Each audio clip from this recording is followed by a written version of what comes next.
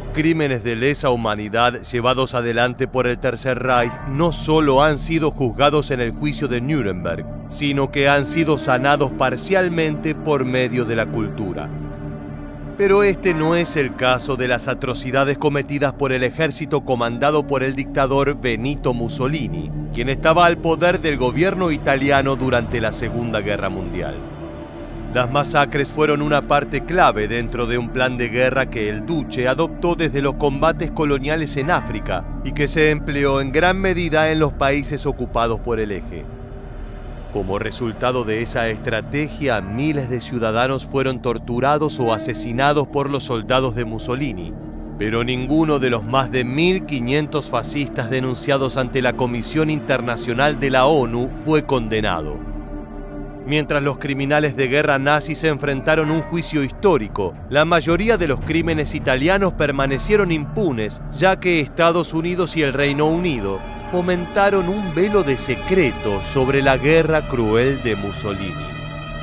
Por eso en este video vamos a relatarte tres de las matanzas más inhumanas llevadas a cabo por el ejército italiano.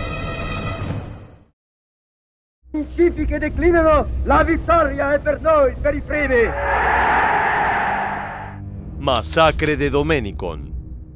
La masacre de Domenicon fue una violenta represalia del ejército italiano durante la ocupación del eje en tierras griegas. A raíz de la derrota en la batalla de Grecia, un grupo de 72 guerrilleros del Ejército Popular de Liberación Local creó una base en las afueras del pueblo de Oxia, cerca de Domenicon. Para apoyar las acciones de resistencia, este grupo ideó una trampa para emboscar a una columna italiana de 350 soldados. En la madrugada del 16 de febrero de 1943, los rebeldes griegos se posicionaron en una pequeña loma de 2 kilómetros al sur de Domenicon. Cuando estaban por llevar adelante su plan, algo salió terriblemente mal. La loma no era suelo estable, error que los novatos guerrilleros no pudieron prever. El terreno cedió debido a la erosión y los hombres tuvieron que salir al descubierto. Una columna italiana formada por tres camiones y tres motocicletas apareció en la carretera. Los valientes rebeldes no retrocedieron y dispararon contra los soldados italianos inmediatamente, antes de que todo el convoy entrara en el área de enfrentamiento y los dejara en desventaja. El combate fue sangriento y los insurgentes lograron abatir a nueve soldados italianos y herir de gravedad a un general. Considerando el plan un éxito, los griegos se replegaron a un escondite en las montañas sin saber que uno de los motociclistas de la caravana logró escapar. El soldado llegó sano y salvo a su campamento a pocos kilómetros de allí, llevando las noticias de la emboscada. Era cuestión de tiempo para que la venganza italiana se pusiera en marcha. Una vez enterado de la trampa, el personal militar italiano comenzó a planear una expedición punitiva. Se ordenó a los civiles de Domenicon que permanecieran dentro de sus casas y estos obedecieron la orden, creyendo que evitarían el castigo ya que no habían participado de la emboscada. 40 vehículos cargados con soldados furiosos llegaron al pueblo. Con la ayuda del alcalde colaboracionista, las tropas italianas reunieron a los locales en la plaza central y mientras arrestaban a los sospechosos, prendieron fuego las casas de los habitantes de toda la región. Las mujeres y los niños pequeños fueron trasladados a una aldea vecina, mientras que todos los varones mayores de 14 años fueron enviados a un campo de concentración en Larissa una columna compuesta por 138 prisioneros y los soldados que los acompañaban, emprendieron una larga marcha rumbo al campamento del eje. Aproximadamente a las 22.30, un mensajero enviado por el general italiano herido en el incidente entregó un mensaje que sería la sentencia de muerte de cientos de personas. El resentido y cruel oficial ordenó la ejecución inmediata de la población masculina debido a la insurrección demostrada. Sin dudarlo, los soldados acataron la orden y los detenidos fueron fusilados en grupos de siete.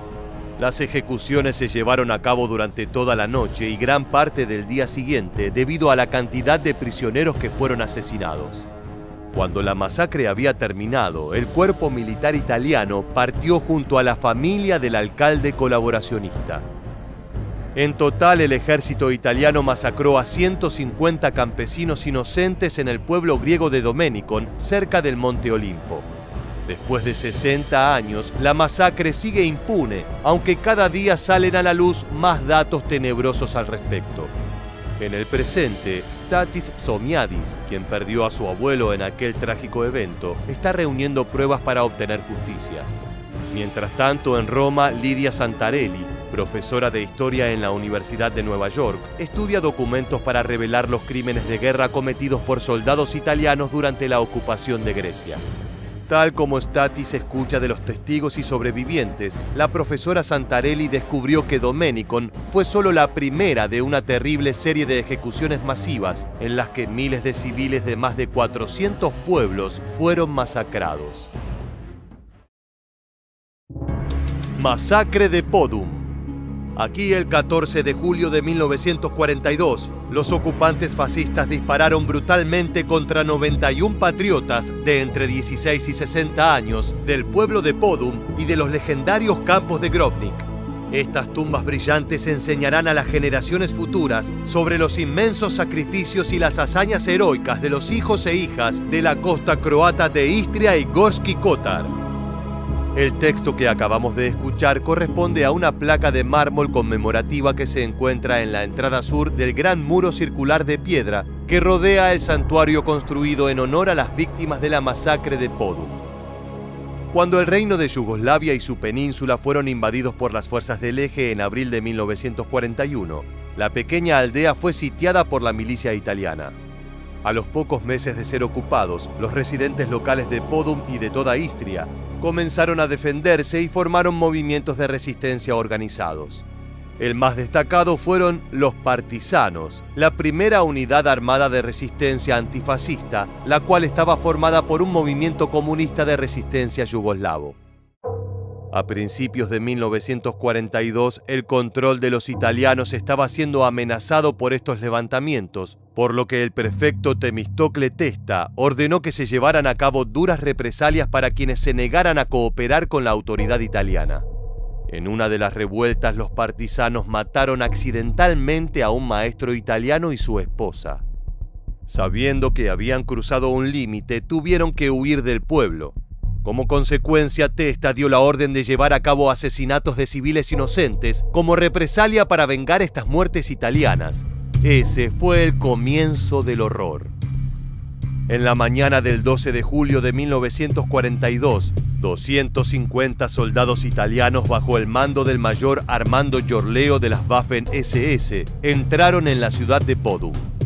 Lo primero que hicieron fue acorralar a todos los varones de entre 16 y 64 años, que sumaban un estimado de 100 prisioneros, 14 de los cuales se resistieron y fueron ejecutados en el lugar.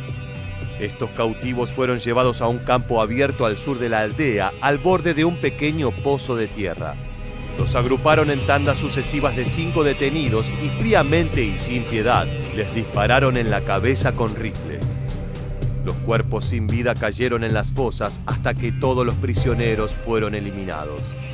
Se desconoce el número exacto, pero se calcula que alrededor de 130 almas fueron eliminadas inhumanamente en este procedimiento. Luego de la matanza, las fuerzas italianas incendiaron el pueblo de Podum y deportaron a los habitantes restantes, principalmente ancianos, mujeres y niños, que sumaban casi 900 civiles. Todos fueron destinados a campos de trabajos forzados en Frosinone, Italia, donde la mayoría estuvieron detenidos hasta finales de 1943.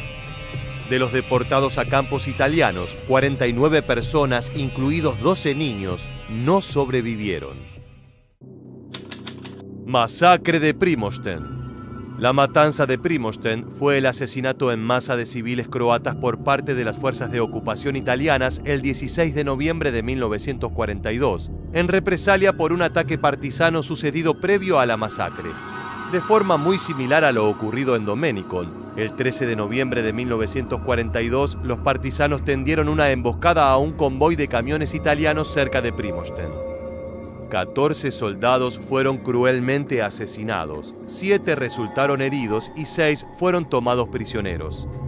El 16 de noviembre de 1942, tres días después, las fuerzas italianas rodearon Primosten y comenzaron a disparar a mansalva y a bombardear indiscriminadamente el pueblo con artillería terrestre y tres aviones.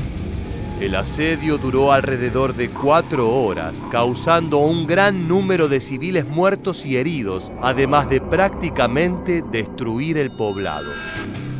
Después del ataque, la infantería italiana entró en el pueblo disparando y golpeando con sus bayonetas a los civiles varones sobrevivientes. Estos fueron separados de las mujeres y los niños, quienes fueron tomados prisioneros. Las casas que seguían en pie fueron incendiadas y saqueadas, mientras que otras fueron asaltadas con granadas por prevención, matando a varios civiles sin piedad, incluyendo niños. Alrededor de 300 viviendas fueron destruidas durante la brutal jornada. Más de 200 civiles, en su mayoría mujeres y niños, fueron arrestados y deportados al campo de concentración de Bodice. El número de víctimas fatales es desconocido al día de hoy, ya que muchos cuerpos fueron incinerados, pero se estima que las bajas fueron entre 80 y 150 civiles. Ya estamos llegando al final del video, pero antes de despedirnos queremos preguntarles. ¿Piensan que los crímenes de Mussolini deberían haber sido juzgados igual que los de los nazis? Dejen sus opiniones en los comentarios abajo. Hasta aquí el video de hoy. Te agradecemos haber llegado hasta el final y te esperamos en las próximas entregas de Historia Militar.